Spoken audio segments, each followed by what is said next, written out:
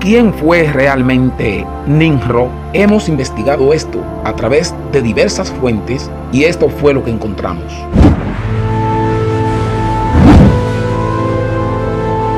Nimrod es un monarca legendario de Mesopotamia. Es mencionado en el capítulo 10 del libro de Génesis.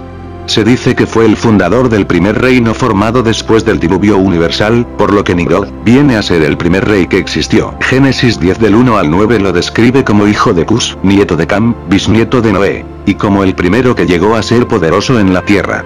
El nombre de Nimrod significa, poderoso cazador delante de Jehová.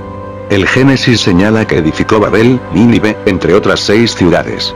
Pero la tradición atribuye a Nimrod la edificación de decenas de metrópolis por toda la tierra. Aunque la Biblia no lo menciona directamente, desde tiempos antiguos la tradición ha considerado a Nimrod como el constructor de la Torre de Babel.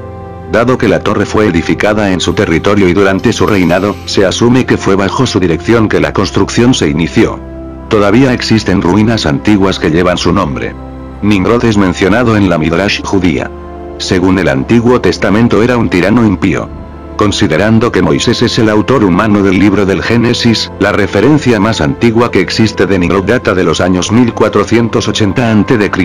Además de Génesis capítulo 10, Nimrod también se menciona en el primer libro de Crónicas capítulo 1 verso 10 y en el libro del profeta Miqueas capítulo 5 verso 6. El historiador Josefo escribió que Nimrod incitó a la gente a la afrenta y menosprecio hacia Dios y lo describe como un hombre atrevido y de gran fortaleza de manos, que fue cambiando gradualmente su gobierno en una tiranía, al no hallar otra manera de apartar la gente del temor de Dios.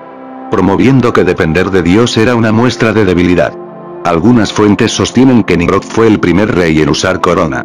Algunas versiones de la historia de los masones, sostienen que Nimrod fue uno de los fundadores de la fraternidad de los masones. Según la Enciclopedia de la Masonería, una leyenda en la antigua Constitución, refiere a Nimrod como uno de los fundadores de la masonería. Una tradición armenia cuenta que Aik, el fundador de Armenia, venció y mató a Nimrod en una batalla cerca del lago Van. Se ha escrito muchas cosas sobre Nimrod. Muchos de esos escritos difieren entre sí.